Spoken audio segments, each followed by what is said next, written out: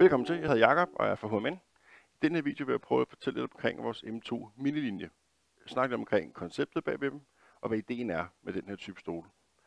Som I kan se, så har vi fem forskellige slags. De er alle sammen lavet i rustfri stål, og de kan alle sammen klare 80 kg.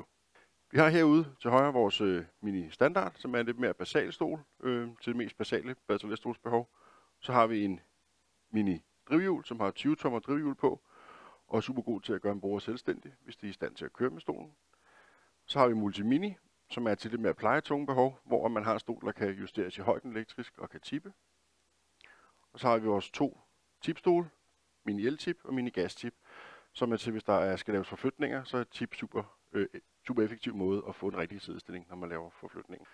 Generelt kan man sige, at de her ministole er designet eller udviklet til at skulle ramme et segment, som ikke er helt børnehjælpemidler og ikke er helt voksenhjælpemidler, men det hul, der er midt imellem hvor at øh, man har nogle øh, lidt større børn eller nogle lidt mindre ældre borgere, som ikke kan være i de her gængse hjælpemidler.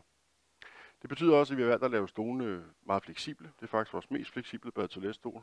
Det illustrerer lidt herovre ved, ved de viste engang med, at man faktisk kan justere armlændshøjden på alle vores ministole. Desuden kan man også justere håndtagsvinklen, så den bruger, der skal skubbe stolen, eller ikke bruger, men hjælper, der skal skubbe stolen, har den bedst mulige udgangspunkt for at gå rigtigt med den. Og vi har også en stor netryg på alle stolene, øhm, som ligesom kan indstilles i rigtig mange forskellige stillinger, sådan så man finder en rigtig sidestilling til den enkelte bruger.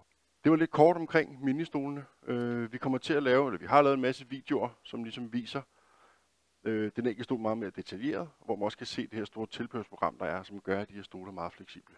Tusind tak, fordi I kiggede med.